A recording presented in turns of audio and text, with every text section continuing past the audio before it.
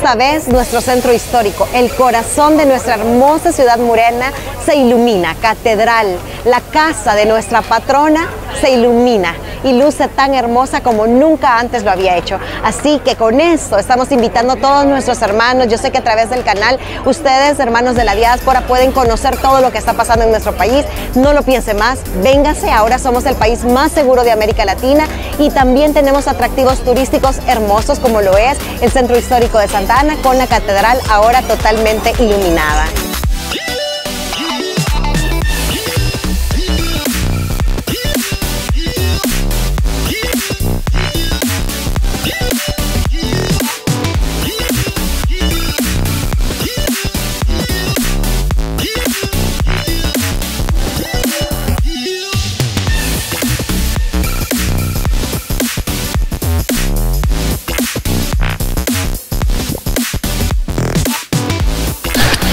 Bienvenidos una vez más a un nuevo video en Camila y Josué Delgado. ¿Dónde nos encontramos? Nos encontramos en la gloriosa catedral de nuestra hermosa ciudad de Santa Ana. ¿Y qué estamos haciendo este día acá? Pues estamos esperando que será una noche iluminada, ya que le pondrán luces a esta hermosa joya arquitectónica que tenemos nosotros los santanecos. Así que no se pierda y quédese en este hermoso video. Y si no nos sigue, suscríbase a nuestro canal. Usted que nos mira, pásela bonito. ¿Qué tal, brother? ¿Cuál es su nombre? Un gustazo, soy William Alemán y como artista santaneco veo a bien lo que ha tomado el ingeniero Gustavo Acevedo, nuestro alcalde de Santa Ana, en este viernes 14 de abril.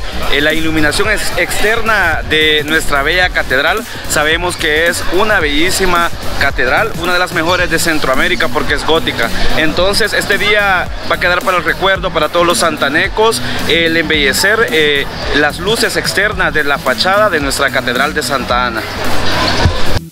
Buenas, ¿qué tal? ¿Cuál es su nombre? Mi nombre es Rafael Colinde, soy el jefe de eventos de la Alcaldía Municipal de Santa Ana y este día vamos a dar por inaugurada la iluminación de nuestro mejor templo católico, una obra arquitectónica neogótica de la más bella de Latinoamérica que este día vamos a, a inaugurar. En esos momentos está la Santa Misa oficiada por el Nuncio Apostólico, representante del Santo Padre, que ha venido en este día a darnos la bendición y a decirnos a los santanecos que somos un pueblo creyente en Dios y en nuestras tradiciones. Y uno de nuestros mayores templos católicos, eh, bellos, de arquitectura cultural religiosa, nuestra catedral de Santa Ana. Así que vamos a tener aquí el acto de inauguración y vamos a tener juegos artificiales y para todos eh, la diáspora, todos nuestros hermanos que nos ven en el exterior, Santa Ana es la capital cultural del Salvador, la capital del mundo, sucursal del cielo.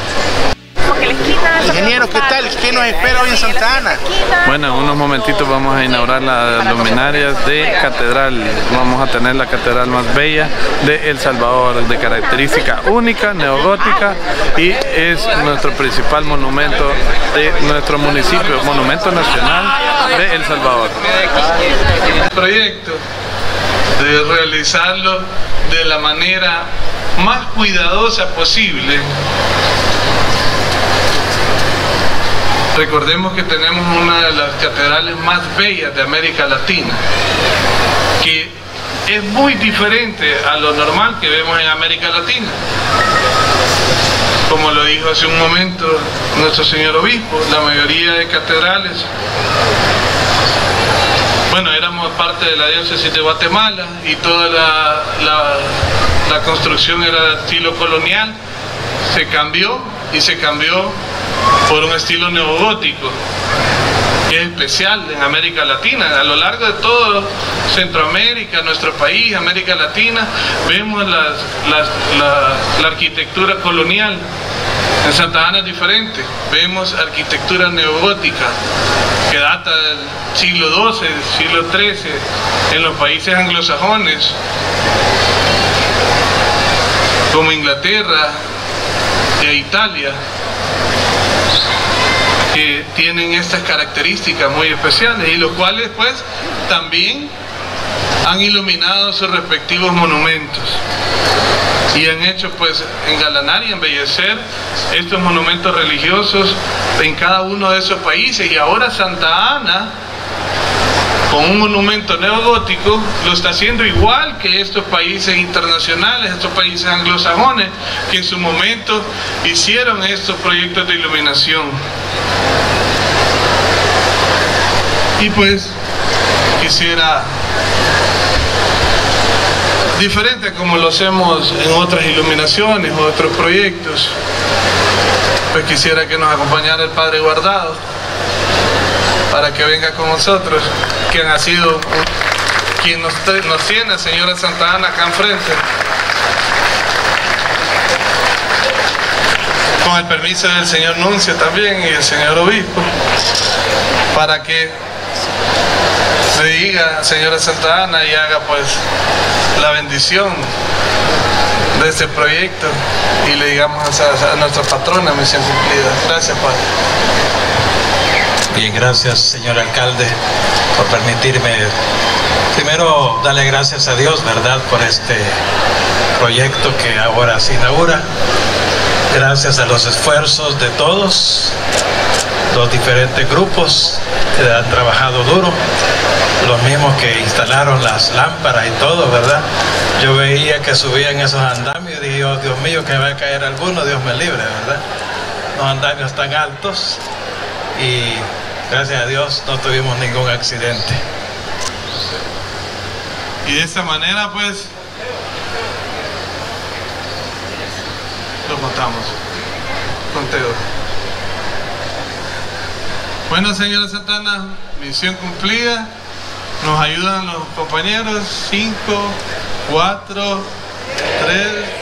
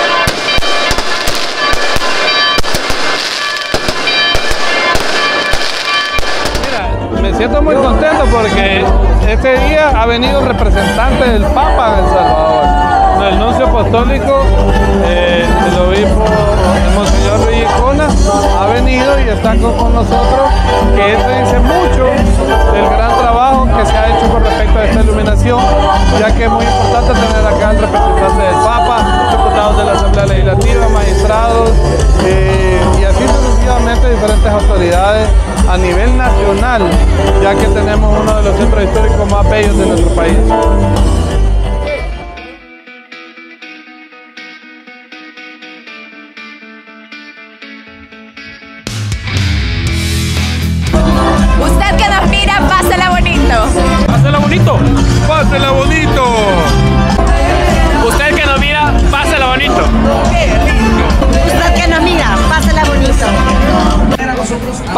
Bonito. Qué lindo. Pásenla bonito. Pásela bonito. Pásenla bonito. Qué lindo. Pásela bonito.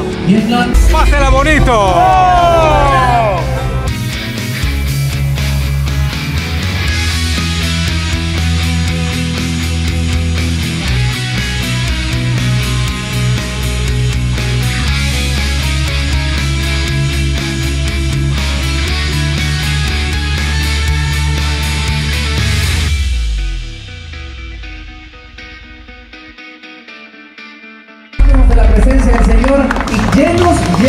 De fe, llenos del Espíritu Santo.